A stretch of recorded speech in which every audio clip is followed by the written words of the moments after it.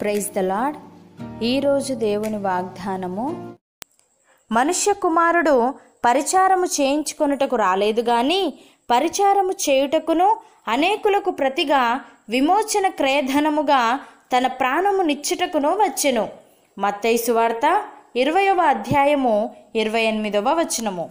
సహోదరి సహోదరులారా దేవుడొక్కడే. దేవునికిని నరులకును మధ్యవర్తియు ఒక్కడే. ఆయన క్రీస్తు యేసను నరుడు. ఈయన అందరి కొరకు విమోచన క్రయధనముగా తన్ను తానే సమర్పించుకొనెను. భక్తుడు ఈ విధముగా అంటున్నాడు ఏ భేదమును లేదు. అందరును పాపము చేసి దేవుడు అనుగ్రహించు మహిమను పొందలేకపోవచ్చున్నారు. కాబట్టి నమ్మవారు ఆయన కృపచేతనే క్రీస్తు యేసునందలి విమోచనము ద్వారా ఉచితముగా నీతిమంతులని తీర్చబడుచున్నారు.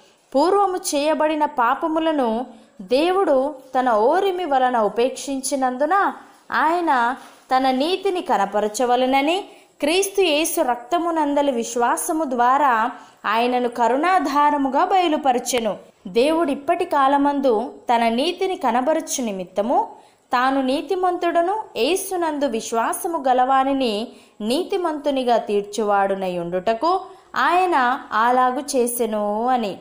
ప్రియులారా ఆత్మను గూర్చిన వాగ్దానము విశ్వాసము వలన మనకు లభించినట్లు అబ్రహాము పొందిన ఆశీర్వచనము క్రీస్తు యేసు ద్వారా అన్యజనులకు కలుగుటకై క్రీస్తు మన కోసము శాపమై మనలను ధర్మశాస్త్రం యొక్క శాపము నుండి విమోచించెను. ఇందును గూర్చి బ్రాను మీద వ్రేలాడిన ప్రతివాడును శాపగ్రస్తుడు అని వ్రాయబడి ఉన్నది. పౌలు భక్తుడు ఈ విధంగా అంటున్నాడు మనము తన ఎదుట పరిశుద్ధులమును నిర్దోషులమునై ఉండవలెనని జగత్తు పునాది వేయబడక మునుపే ప్రేమ చేత ఆయన క్రీస్తులో మనలను ఏర్పరచుకొనెను. దేవుని కృపా మహదైశ్వర్యమును బట్టి ఆ ప్రియనియందు ఆయన రక్తము వలన మనకు విమోచనము అనగా మన అపరాధములకు క్షమాపణ మనకు కలిగి ఉన్నది. కాలము సంపూర్ణమైనప్పుడు జరగవలసిన ఏర్పాటును బట్టి ఆయన తన దయా సంకల్పము చొప్పున తన చిత్తమును గూర్చిన మర్మమును మనకు తెలియజేసి మనకు సంపూర్ణమైన జ్ఞాన వివేచన కలుగుటకు ఆ కృపను మన ఎడల విస్తరింపజేసెను అని.